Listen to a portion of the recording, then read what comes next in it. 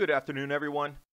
As the magnetic field on the Sun decreases going into our new grand solar minimum, we will begin to see effects on the Earth as galactic cosmic rays increase low cloud cover across our planet. Atmospheric compression events is what we're beginning to see right now. This is a wrap up of the beginning of 2015 up to July. Bogota, Colombia, and Quito, Ecuador, equatorial areas receiving three feet of hail each a month apart. Unusual earthworms raining down from the skies over Norway onto the glaciers in three different places. Incredible hailstorms in Sydney. Four typhoons forming at the same time, but they're on different sides of the equator, out of season completely. Unprecedented, never recorded, back to the 1300s, coming into the Arabian Sea Peninsula. Check out the size of this hail in Texas and that is a river of hail in Saudi Arabia.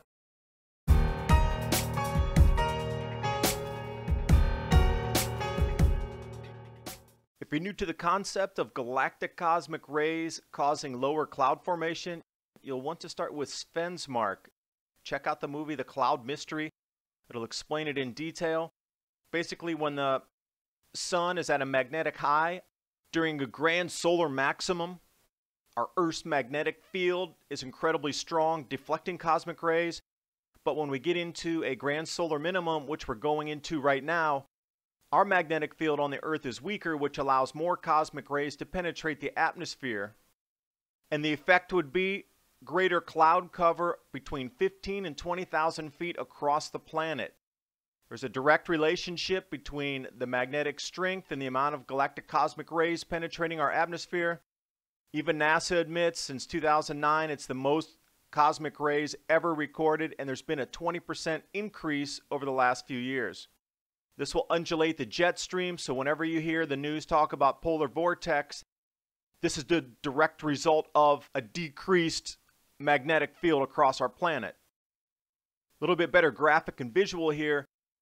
Generally, storms are going to be much, much more intense. Winds will be stronger. Just gigantic areas where updrafts will pull in. You'll get these ice pockets in the sky. That's what's been damaging the aircraft across the planet as you see again and again these emergency landings. They're running into this in the skies. Back here on the ground, start to see more and more as we have record floods, 100 year floods, 200 year floods, 500 year floods, consistently in the news. 50 centimeters of hail, that's two feet of hail in Sydney. This is the approximate size of the hailstones. Jumping through the social media. This is not really normal when you get this deep of hail enveloping a city. The hailstones were different shapes as well. The aftermath, traffic locked up. Belarus, this is a two minute duration from here to total darkness in two minutes when the storm came in. Earthworms raining down from the skies over Norway. There's been three different places where they found earthworms that have come down and landed on the glaciers by the thousands. So somewhere they're being picked up and transported over into the glaciers. This is a map of South America. Notice Colombia and Ecuador right on the equator. Amazing. Bogota, most hail ever. Two feet of ice falling out of the skies into Bogota. That was in March. Cleanup's underway depth in the streets for you there to take a look at. 8 o'clock in the morning. The Grand Historic Ice Fall. Now, this is exactly what the atmospheric compression wring out looks like when it's coming through. It's actually wringing out. There's so much moisture and extra density in the clouds.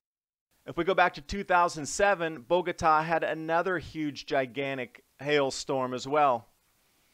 Quito this year, this is February, a month prior to the Bogota storm. As you can see in Quito, the streets, how deep the ice was there. Back to the flash floods everywhere across Europe. You've heard over the last two or three years, it's just historic flooding 300 year floods, 200 year floods, century mark floods. That's what these events are all about. We haven't repeated a solar minimum in 400 years. So when we go forward, that should be the norm, breaking 300 year rainfall records. 400 year rainfall records coming now that the intensity will up a notch, if you will. Look for snow records to break in the 300 year range. The ocean should be cooling a little bit, so there'll be a decrease in hurricanes and typhoons as we go into a La Nina and the Atlantic multidecadal oscillation turns cool. That's why you haven't seen so many hurricanes in the Atlantic because the ocean is going cool on a regular cyclical basis. Massive dust storms coming through the Middle East, Beijing, China, Bondi Beach. You get 75 mile an hour winds, and that's no typhoon. That is just a, high pressure system. Size of the hail, you know, when you get these massive updrafts, they can pull up two pound pieces of hail back into the sky again and again and again absurd amounts of over precipitation of something like seven times normal on this weather map back in the same time in May when these storms occurred. Peshawar in Pakistan, third worst mini cyclone ever in the history of the country. And there I looked in that record and it goes back 1,300 years and this is third worst they've ever recorded. Torrential rains in Peshawar, they're just not used to these kind of floodwaters rolling through and winds flash floods in Saudi Arabia, not really floods, but flash hail. Deserts and rivers of hail just normally don't go together. Looking at the global tropical cyclones from 1851 up to 2008, you don't get typhoons forming on both sides of the equator in different opposite seasons. This is rare. The extreme rarity of a single storm in the Arabian Peninsula is something. But when you have two storms back to back after two weeks, that is not ever recorded. The Arabian traders going back through this time using the Arabian Peninsula and Red Sea along the trade routes at that time, the records go back to about 1300. Actually, 1278 is the earliest recorded weather anomaly that I could find. There's never been any recording of two storms ever in the history of recording weather in the Arabian Peninsula that there's been two. That's back to a 700 year event. The Peshawar event is a 1200 year event, so you can start to see we're getting back into greater amounts of time. Cyclone Chapala, Cyclone Megh, these are the ones that rolled through the peninsula. When you're dumping a year's worth of rain in 48 hours, you're going to have massive flooding. It's the track of the storms here in case you were unfamiliar and the news didn't report on that, which it probably wouldn't have unless you were regional. This is the flooding they're experiencing throughout the cities and towns. And our last graphic here, rainfall for those of you in the United States takes 10 millimeters to equal one centimeter. It takes two and a half centimeters to equal one inch. Thanks for watching the video. Hope you see that something's happening with our atmosphere due to cosmic ray increases having a direct effect creating lower cloud cover. You are going to see more and more snow records shattered, ice build up across the Arctic and the Antarctic, and record floods going back three to 400 years consistently from this point forward.